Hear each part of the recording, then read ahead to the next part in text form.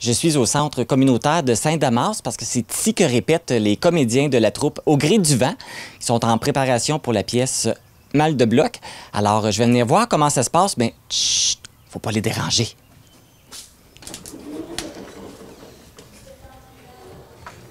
Premier message. Euh, oui, c'est Joseph. Coudon, monsieur Doucette, êtes-vous mort? Si vous êtes mort, dites-le.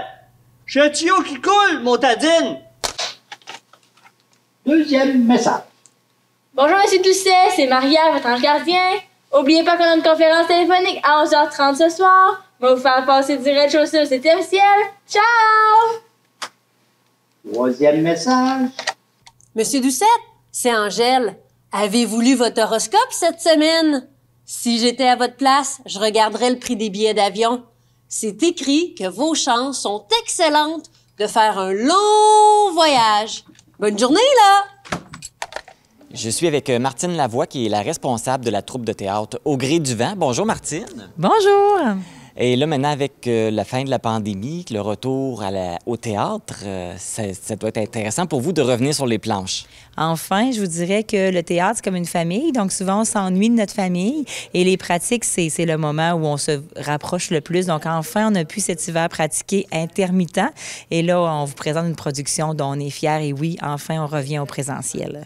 Donc, une première production après, depuis la pandémie.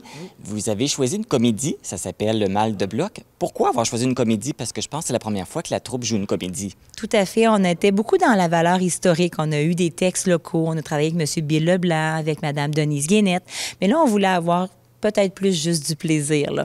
Alors, c'est une comédie qui était entièrement euh, écrite par M. Simon Côté et que Isabelle Carignan a adaptée pour nous parce que c'était beaucoup trop ambitieux pour nous de tenir des rôles principaux comme ça. Alors, elle a fait une réécriture, une mise en scène et là, on se retrouve avec un beau mal de bloc, deux propriétaires qui vont avoir beaucoup de misère avec leurs locataires.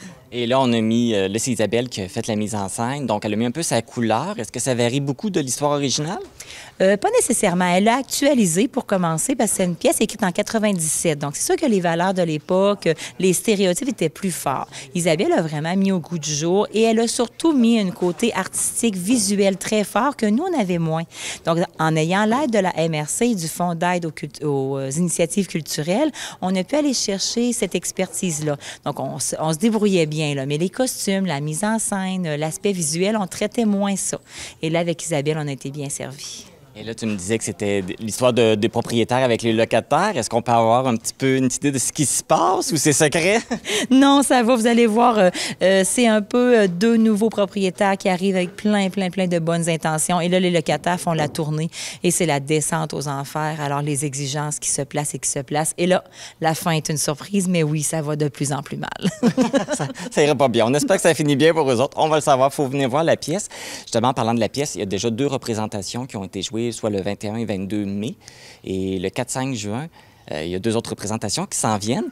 Donc, les gens qui sont intéressés à voir la pièce, parce qu'il ne faut pas la manquer, comment ils doivent se procurer les billets? Donc, on a le bureau municipal de la municipalité ici à Sinamas, au 776-2103. Je pense qu'à l'épicerie du village, vous allez trouver quelqu'un qui connaît un des comédiens. Euh, donc, euh, par la page Facebook de la municipalité aussi, je pense que vous allez pouvoir prendre des billets. Je vous invite à le faire parce que déjà des gens du 21-22 vont revenir nous voir le 4 et 5. Donc, je pense que ça vaut la peine de réserver ses places à l'avance. Ça, c'est bon signe. Ça veut dire que ça a bien été les deux premières représentations. Nous étions très fiers. Le track a bien passé et le public, vous savez comment ça nourrit. Là. Les rires étaient abondants. Il y avait des gens qu'on connaissait de nos familles, mais il y a quand même eu beaucoup de gens de l'extérieur. Alors, ça a été pour nous là, une très belle satisfaction. Puis là, le 4 et 5, on va se recrinquer pour avoir encore meilleur spectacle. Là, la, la pièce se joue à la salle communautaire de Saint-Damas, mais avez-vous l'intention de l'exporter, d'aller jouer ailleurs? Avez-vous eu des demandes? Pas encore, mais vous savez que euh, quand on a la piqûre, on aime ça. On attend les offres, mais actuellement, il n'y a pas d'autres dates de fixer à l'horaire. On verra ce qui se présente. Donc, euh, le succès de la pièce, des- oui, la metteur en scène joue un rôle, mais les comédiens aussi, qui jouent dans la pièce? Bien, nous sommes tous des gens de Saint-Amand, Saint-Noël, donc euh, c'est des gens avec qui on a déjà travaillé. Est-ce que je nomme les noms de ces personnes-là? Oui. Bien, parfait. Donc, M. Clermont-Mius est mon conjoint.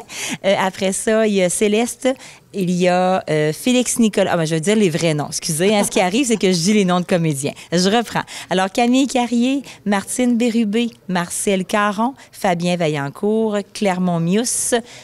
Euh, Mario Gendron. Et je vais les Pas évident, il ne faut pas en oublier. Non, c'est ça, je vais les regarder. Ah, et ma belle Mylène Bélanger. Donc, c'est les neuf personnages. Et toi, tu joues dedans aussi. Oui, c'est, ben, justement, vu que la mise en scène a été faite par Isabelle, j'ai pu enlever cette charge-là qui habituellement revenait à moi bien, bien hum- humblement. Alors, j'ai pu jouer là à temps, à temps plein avec eux. Parce qu'habituellement, quand tu fais la mise en scène, tu joues pas dedans? Très peu parce qu'on sait ce que c'est la mise en scène, on veut rester disponible, sonorisation aussi. Donc là, Isabelle a pris en charge tous ces deux côtés-là. Ouf, j'ai pu avoir le plaisir d'être sur les planches. Fait qu'on va te voir à l'œuvre. Donc, le 4-5 juin euh, prochain. Bien, merci beaucoup. On vous souhaite euh, bon succès avec les deux dernières représentations qui restent. Puis, on peut-être que quelqu'un vous demandera de, de l- de l'in- de l'exporter, de vous avoir euh, chez eux. Bien, c'est bien. Merci d'être venu nous voir et euh, toujours agréable de voir qu'on souligne les initiatives locales. Merci beaucoup. Quatrième message. Monsieur Doucette, c'est Monsieur Stade. Je vous ai demandé de me coller du chinois. Il n'est toujours pas arrivé. Coudon, avez-vous un plancher? Cinquième message. Monsieur Doucet, c'est Constance Daigle, la nouvelle locataire qui aménage bientôt. Justement, je me demandais, fournissez-vous les boîtes pour le déménagement?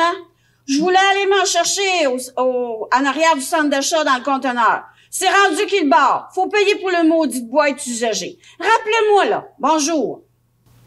Sixième message. Oui, c'est Brigitte. Mon air climatisé est toujours pas réparé, Monsieur Doucette. Attendez-vous que j'aille vous étouffer?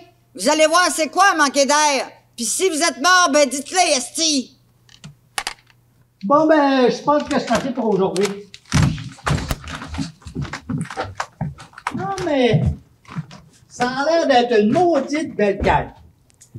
Donc, je suis en présence des comédiens de la pièce Mal de bloc qui sont avec moi et ils vous attendent. Donc, si vous avez envie de voir une belle pièce et de rire d'un bon, un bon coup, ça se passe ici à la salle communautaire de Saint-Damas. Alors, tout le monde ensemble, on vous souhaite bon spectacle!